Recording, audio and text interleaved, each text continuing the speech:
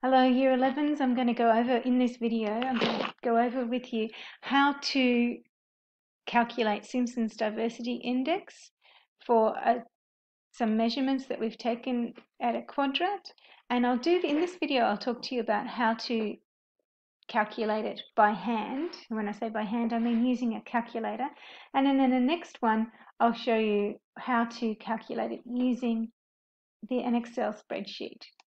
So if we've given this piece of information here, the question is, here is some information. I think this is the same as what's in the PowerPoint presentation.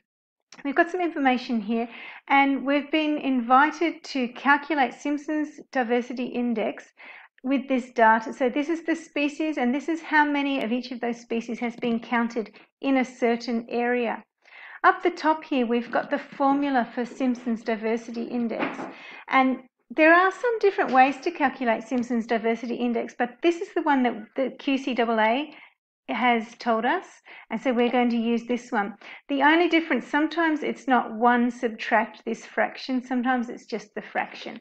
So we're in QCAA, so in marine science, we are going to be using the Simpson's diversity is equal to 1 subtract this fraction, which is a complicated looking fraction, but we'll figure it out a little bit at a time. The first thing I want to do is to actually, instead of using this table, I'm going to make my own table because I want to add a couple of extra pieces of data into the table. Okay, now, where's my table gone?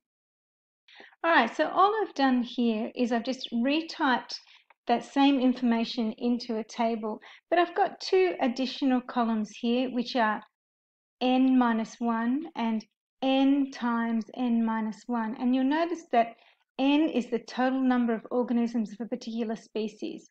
So here we've got 2 is the n for spinifex, and 8 is the number, or n, for goat's foot. Let's fill in these columns first of all. So here in this column, I just need to take this number in this column n and subtract 1. So 2 subtract 1, I can do that in my head, is 1. 8 subtract 1 is 7. 1 subtract 1 is 0.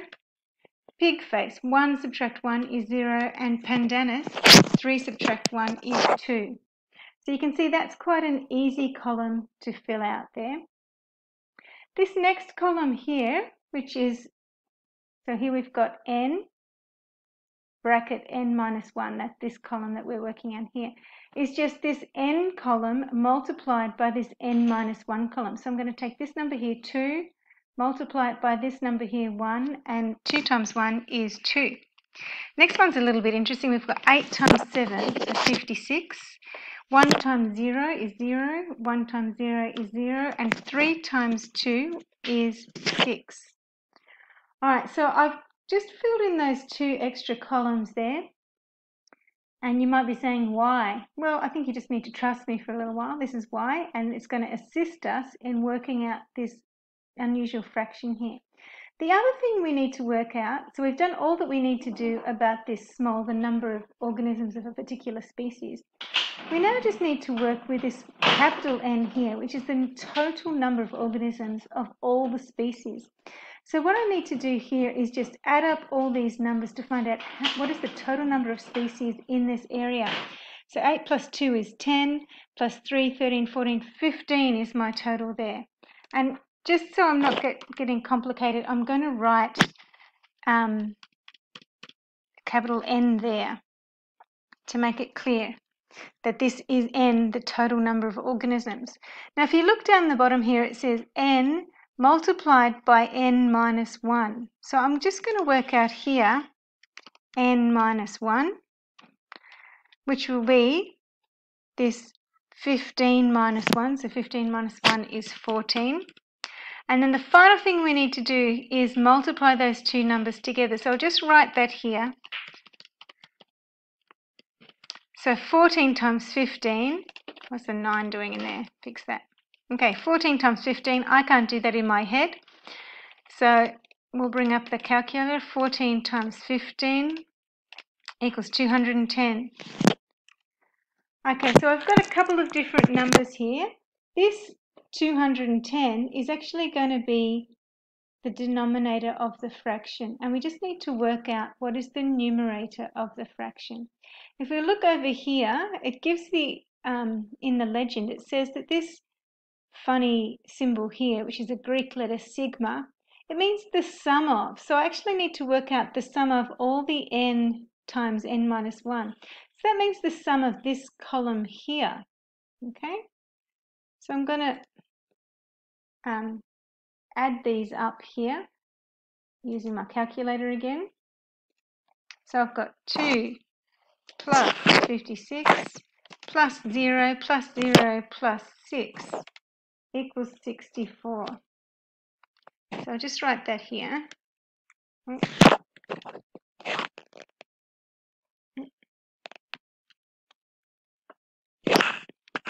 So the sum of those is 64. We're nearly ready to put these numbers into our fraction here. So I'll just scroll up a little bit and I'm going to I'm going to write it by hand just because it's hard to hard to do equations in a Word document. Okay, so we've got D, hang on, nearly there, draw is what we want. Okay, D is equal to 1 minus, now this number here is the sum is this number here, so that's 64 over the top of this number here, which is here, so 210. And now I need to just bring up the calculator again and pop it over that side. Clear. So I'm going to start with the fraction 64 divided by 210. Remember that this line here means divided by equals, got some big number there. Okay, and now I need to subtract that from 1.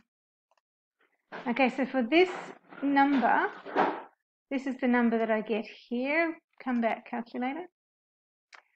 So 0 0.695, what else was there? 238. Okay. So I'm going to round that just to um, two decimal places. 2.70. Okay, so if I round to two decimal places, we look at the next one, which is a 5. So this needs to go up to from 69 to 70. And this number here is the Simpson's Diversity Index for this ecosystem. Easy.